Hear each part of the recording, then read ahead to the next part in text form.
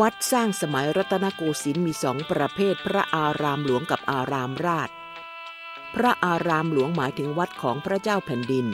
ทั้งทรงสร้าง สถาปนา บูรณปฏิสังขรณ์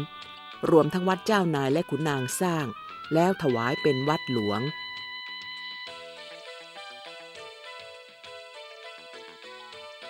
วัดประจำรัชกาลที่หนึ่งวัดพระเชตุพนวิมลมังคลารามหรือวัดโพ เดิมชื่อวัดโพธาราม เป็นวัดเก่าแก่มีมาตั้งแต่ครั้งกรุงศรีอยุธยา สมัยสมเด็จพระเพทราชา สมัยกรุงธนบุรีสมเด็จพระเจ้าตากสินมหาราช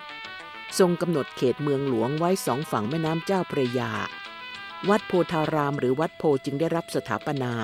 เป็นพระอารามหลวงสมัยรัตนโกสินทร์พระบาทสมเด็จพระพุทธยอดฟ้าจุฬาโลกมหาราช เสด็จปราบดาพิเศษเป็นปฐมบรมกษัตริย์ ทรงพระกรุณาโปรดเกล้าโปรดกระหม่อมให้บุรณปฏิสังขรณ์ตั้งแต่ พุทธศักราช 2332 ถึง 2344 พระราชทานนามใหม่ว่า วัดพระเชตุพนวิมลมังคาราวาสรัชกาลที่4เปลี่ยนเป็นวัดพระเชตุพนวิมลมังคลารามราชวรมหาวิหาร ประดิษฐานพระราชสรีรังคารรัชกาลที่หนึ่ง ในฐานชุกชีชั้นล่างพระพุทธเทวปฏิมากรในพระอุโบสถ วัดประจำรัชกาลที่สองวัดอรุณราชวรารามเดิมชื่อวัดมะกอก สมัยกรุงธนบุรีสมเด็จพระเจ้าตากสินมหาราชทรงพระกรุณาโปรดเกล้าโปรดกระหม่อมให้ ปฏิสังขรณ์แล้วเปลี่ยนชื่อเป็นวัดแจ้ง สมัยรัตนโกสินทร์พระบาทสมเด็จพระพุทธยอดฟ้าจุฬาโลกมหาราช ทรงพระกรุณาโปรดเกล้าโปรดกระหม่อมให้รัชกาลที่สองครั้งดำรงพระอิสริยยศ สมเด็จพระเจ้าลูกยาเธอเจ้าฟ้ากรมหลวงอิสระสุนทร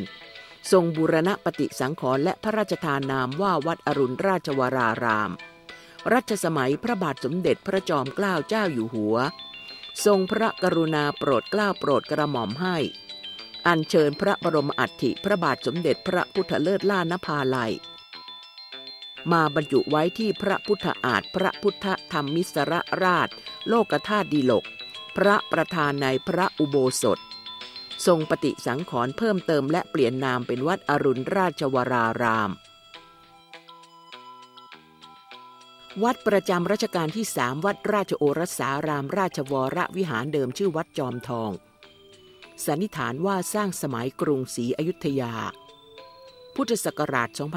2363 พระบาทสมเด็จพระนั่งเกล้าเจ้าอยู่หัว ครั้งยังทรงดำรงพระอิสริยยศ พระเจ้าลูกยาเธอกรมหมื่นเจษฎาบดิน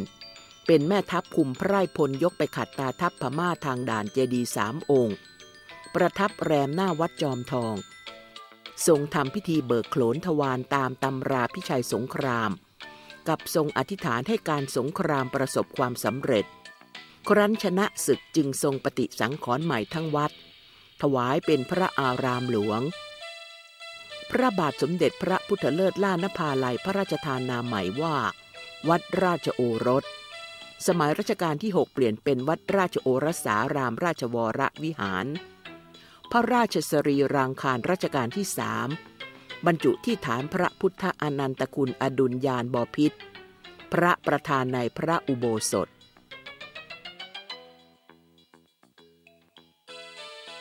วัดประจำรัชกาลที่สี่วัดราชประดิษฐ์สถิตมหาสีมาราม ราชวรวิหาร พุทธศักราช 2408 พระบาทสมเด็จพระจอมเกล้าเจ้าอยู่หัว ทรงมีพระราชดำริตามประเพณีโบราณ ราชธานีต้องมีวัดสำคัญสามวัด มหาธาตุราชบูรณะ และราชประดิษฐ์ รวมทั้งทรงสร้างอุทิศถวายเฉพาะพระสงฆ์ฝ่ายธรรมยุติกะนิกายเป็นวัดแรก พระราชทานพระราชทรัพย์ส่วนพระองค์ ซื้อที่ดินใหม่แลกที่ดินเดิม ซึ่งเป็นสวนกาแฟของหลวง ก่อสร้างวันที่ 26 พฤศจิกายนพุทธศักราช 2407 9 เดือนก็สำเร็จ